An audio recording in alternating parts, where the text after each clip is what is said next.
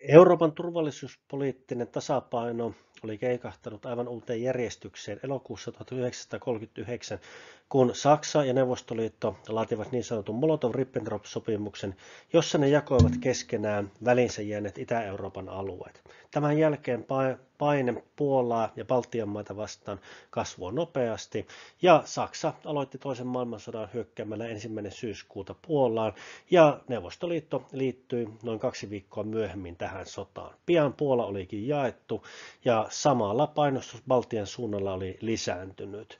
Lokakuun ensimmäiseen viikkoon mennessä kaikki Baltian maat oli painostettu siihen, että niiden tuli hyväksyä neuvostojoukkojen saapuminen maahan ja sotilastukikohtien perustaminen. Siinä samassa vaiheessa kun viimeisenä Liettua oli taipunut, alkoi myöskin Suomen painostus, joka edelsi talvisotaa. Suomi ja Neuvostoliitto olivat lokakuussa neuvotelleet yhden kierroksen tuloksetta, ja nämä neuvottelut tulivat marraskuussa jatkumaan sitten uudelleen. Lokakuussa neuvostojoukot saapuivat sitten jo Viroon, ja seuraavaksi kuulemmekin, kuinka Viron puolustusministeri kommentoi neuvoston joukkojen saapumista maahansa radiopuheessa.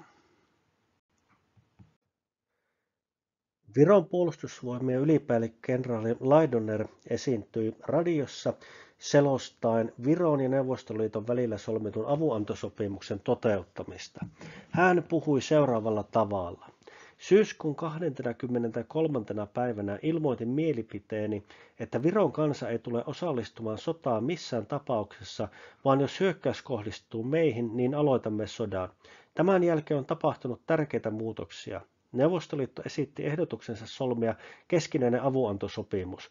Tasavallan presidentin kanssa pohdimme kysymystä vakavasti. Me ymmärsimme Neuvostoliiton vaatimukset ja päätimme aloittaa neuvottelut. Nyt avunantosopimus on tullut voimaan ja Neuvostoliiton ja Viron neuvottelukunnat ovat päättäneet työnsä. Kaikki tämä on tapahtunut molemminpuolisen luottamuksen ja yhteisymmärryksen merkeissä neuvottelijan välillä.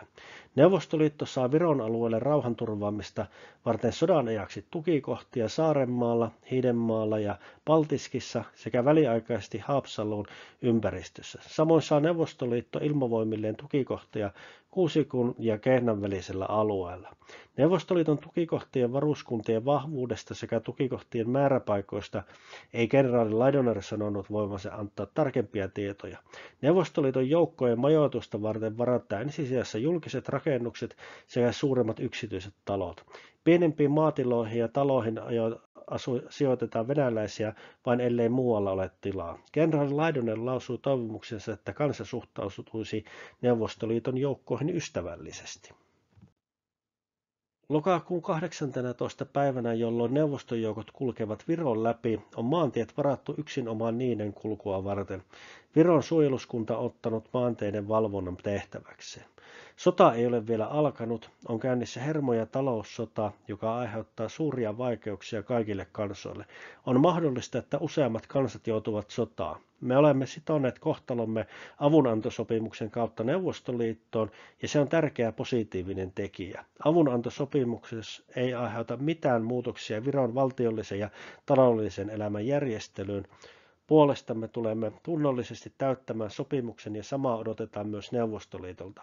Edessä odottavat vakavat ajat, mutta me kuljemme rohkeasti niitä kohti. Nykyinen aika vaatii meiltä kaikilta yksi, yhteismieltä maan tulevaisuuden sekä rauhan turvaamiseksi. Näin kommentoitiin Virossa sitä, kuinka lokakuussa maahan marssivat neuvostojoukot. Ja kuten historia osoittaa, niin aika harvoinhan nämä maahan vapaaehtoisesti päästetyt armeijat sieltä sitten kovin helpolla poistuvat. Ja seuraavana kesänä hän nähtiinkin sitten, kuinka Neuvostoliitto järjesti niin sanotut kansanäänestykset ja liitti Baltian maat Viron, Latvian ja Liettuan Neuvostoliittoon. Tämä puhe on siinä mielessä mielenkiintoinen tai lainaukset siitä, että siinä oikeastaan todetaan se, että tämä on aika lailla tällainen Herran haltuun ratkaisu, että jos nyt tällaisella eväillä lähdetään eteenpäin, niin pitää luottaa siihen, että sopimuksesta myöskin pidetään kiinni. Huomioarvoissa on myös se, että kuinka tämä virolainen osapuoli tässä yhteydessä sitten kertoo painokkaasti siitä, että kyseessä on tällainen ratkaisu, jolla turvataan Viron asemaa ja että neuvostojoukkojen pitäisi sitten maasta poistua, kunhan sota loppuu loppuu. Virallisestihan Neuvostoliitto, ja kyllähän tässä oli myöskin käytännölliset syyt, rakensi tällaista sotilaallista puskuria länteen, ja siihen kuului sitten se, että haluttiin omien rajojen ulkopuolelle sotilastukikohtia, että jos ja kun sota Saksan kanssa alkaa, niin se ensimmäinen taistelupaikka ei ole sitten omalla maaperällä. Tämähän itse asiassa myöskin tämä Puolan alue, jonka Neuvostoliitto sitten liitti itseensä tässä samassa vaiheessa, niin nämä olivat näitä Itä-Puolan, Ukrainan ja valko kielisiä alueita. Ja siellä taas Neuvostoliitto ikään kuin omasta näkökulmastaan palautti itselleen kuuluvia alueita valtakunnan yhteyteen.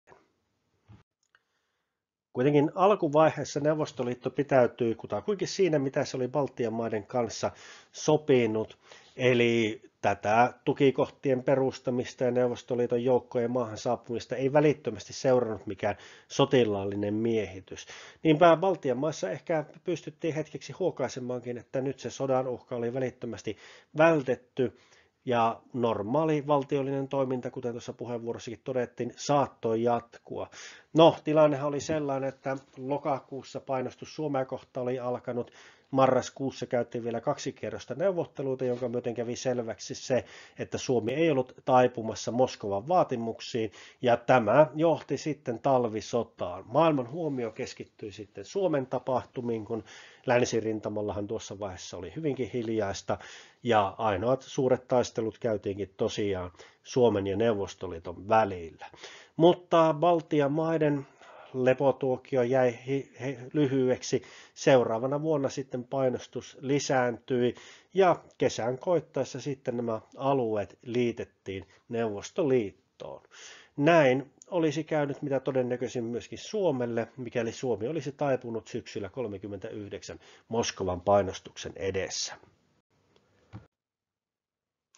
Baltian maat siis taipuivat painostuksen edessä hetkellinen turvallisuus, se oli mitä Baltian maat sillä saivat. Itsenäisyys sillä tosiasiallisesti loppujen lopuksi myyttiin.